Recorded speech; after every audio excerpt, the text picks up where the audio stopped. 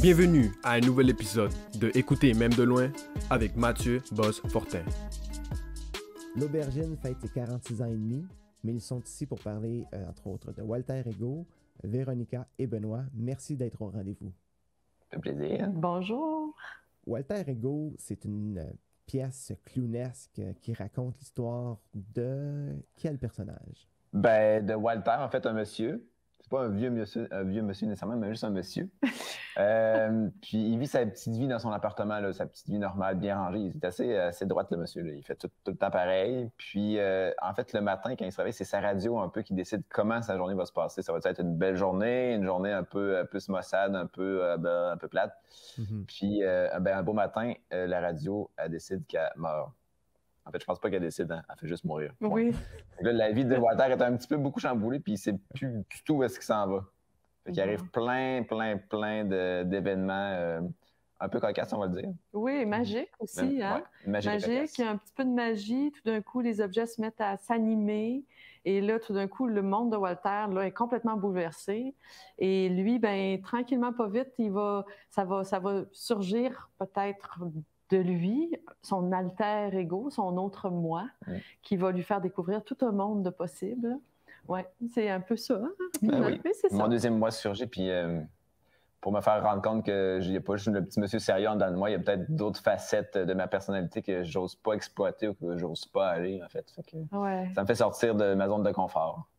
Oui. Donc, si euh, Walter Ego, c'est le, la, rencontre de Walter avec son alter ego, euh, chez les enfants ou quand vous présentez cette pièce-là devant un public, qu'est-ce qui est euh, la chose que le public se rappelle le plus de la pièce? Il y a, en tout cas, les enfants disent qu'ils sont beaucoup impressionnés. Même il y en a une qui disait impressée. je suis impressée. C'est tellement beau.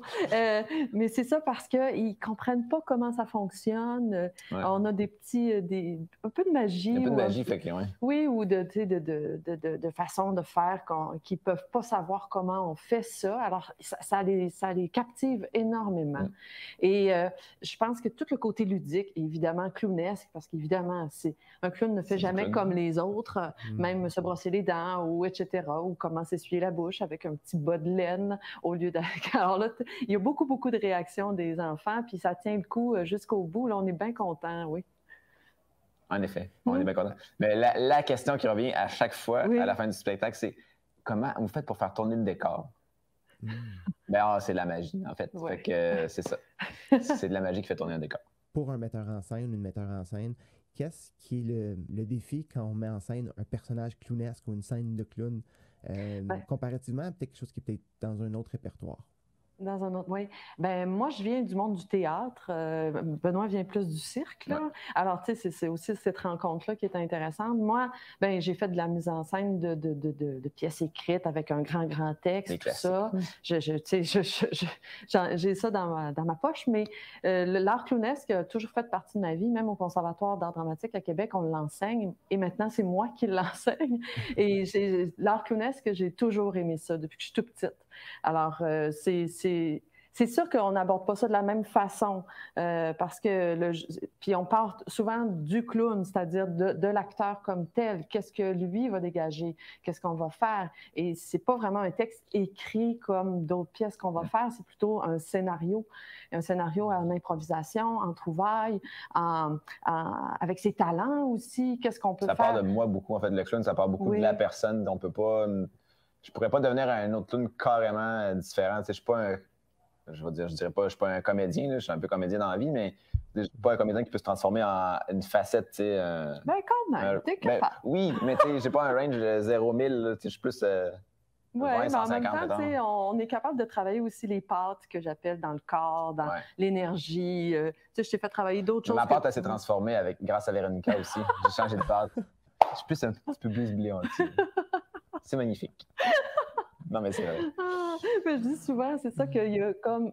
C'est de trouver aussi le côté givré. Là, on parlait de, ouais, de ouais. mini-weight, mais tu sais, le petit côté qui est, qui est, qui est de l'autre bord, qu'on Mhm. connaît. Des fois, on cache parce que toute notre enfance, on se fait dire fais pas ci, fais pas ça. Ah, euh, tu tes défauts, t'es caches, tu veux pas montrer que t'es mince ou que t'es un peu plus euh, grassouillet ou que t'as des oreilles Mm. décollées. Mais le clown, non, c'est pas tes Ah, c'est pas ton cas. Mais euh, ce que je veux dire pour le clown, c'est des qualités. Des défauts deviennent des qualités. Alors, c'est ça aussi qu'on veut mettre de l'avant.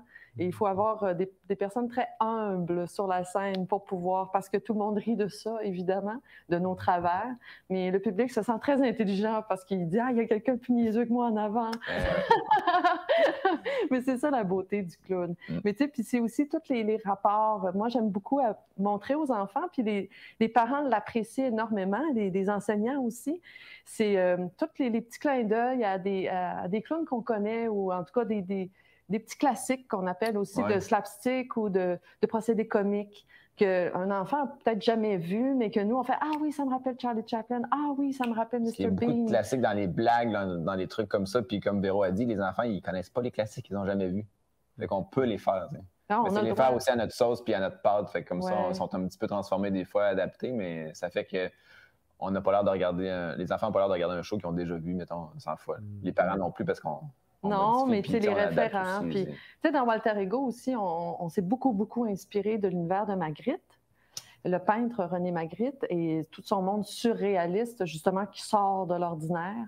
Alors, euh, même le les chapeaux melons, les, les pommes vertes, les parapluies, les nuages. Alors, tout ça, c'est un univers que les parents adorent.